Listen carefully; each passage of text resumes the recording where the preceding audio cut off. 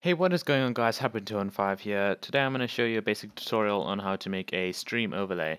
Um, basically your um, width, your dimensions will be 1920 by 1080p. It depends on your video size, but uh, I usually make it 1920 by 1080p and even if my video is 720p, it will still crop itself down so it will be fine. I'm just going to make this a normal layer and then put a blank layer on top of it and delete this back one. Now, basically what you want to do, uh, there's many ways of doing uh, different types of overlays. Uh, all depends on your preference. And I'm going to get this out of the way. Right there. I'm going to put these guidelines down. Uh, this will snap to the middle, so it's fine. What I'm going to I'm to use the I'm going to do this with a pen tool. So if you hold down, okay, I'm going to show you here. If you do this, you'll get basic pen tool lines, and then you can make a box like that but if you make one and then hold it down, you can make a curved one and you can change how you want the curves to be. Right? You just hold down control and then you can move the control, the curves, and you can move the line around. And also, let me just get rid of these. If you click one and you hold down shift, this is for Windows, then you'll get straight lines like 45 degree lines and straight lines. These are just the basics, uh, but here I'm to show you, I'm here to show you the how to make a stream overlay. So we're gonna click there, there, around there.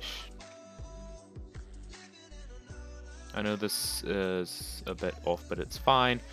And then before, when I would go right click it, I'll go fill path, then it would do this. And I couldn't inverse it or anything like that. So what I did was I went make selection, said okay, and then if I click here, it's going to the outside, but I don't want it to the outside.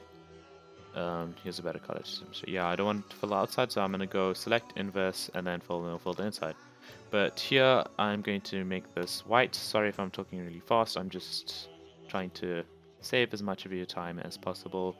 What we're going to do is going to um, duplicate this layer, duplicate this layer. I'm to go duplicate layer, I'm to move it to around there. Then we're to go to edit, transform, flip horizontal, and then you could hold these down and press E to merge, or you could just right click and merge down. And then after this, what we're to do is to go to blending options. We're going to put a gradient overlay on it. I'm to make this around 25%.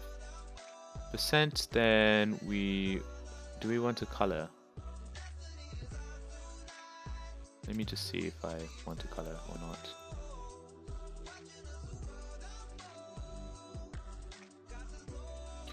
Okay, we're gonna make this, let's make this one orange.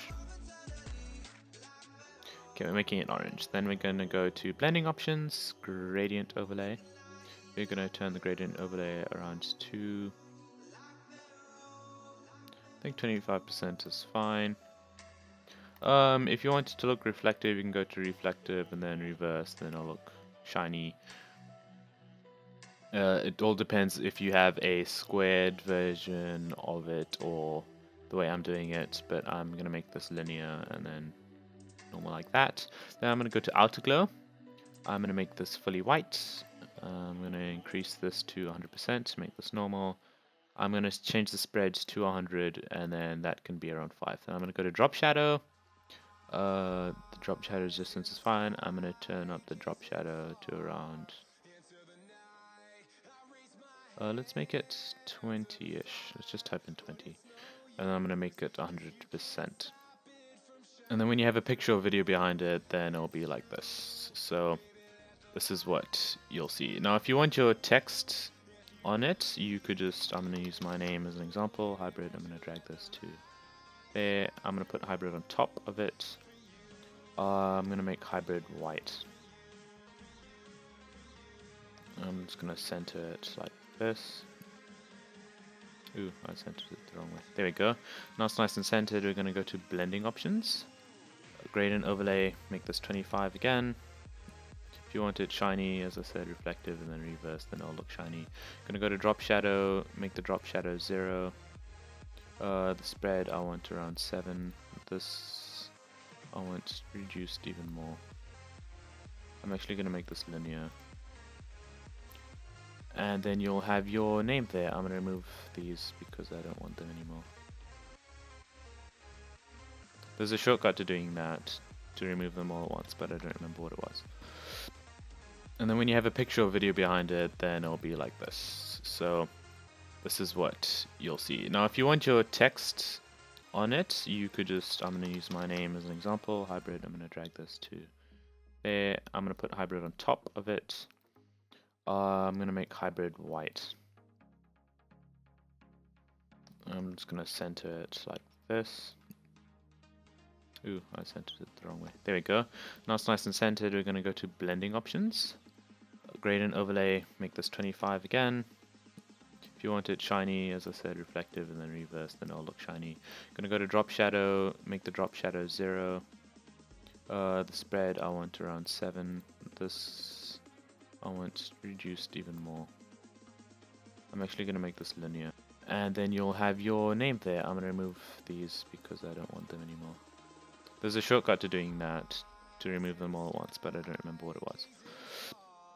If you want icons on your stream overlay, um, it's pretty easy. I'm just going to go place, uh, crop these down.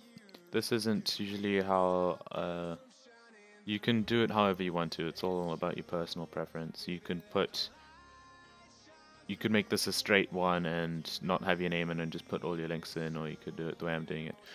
Um, I'm just doing this uh, quick draft, so it's not going to look perfect.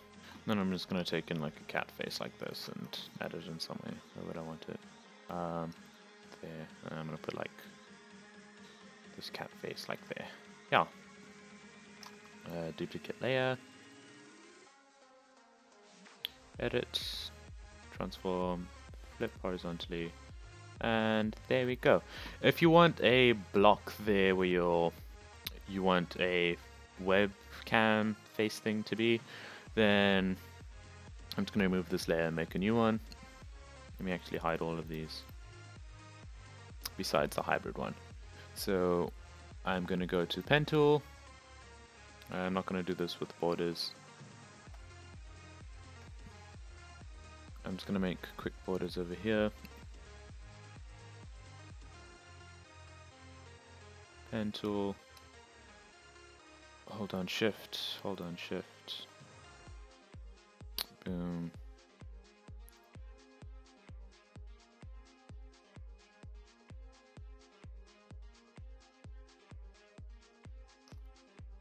And that's what it'll be like. Then you just go to make selection. Okay.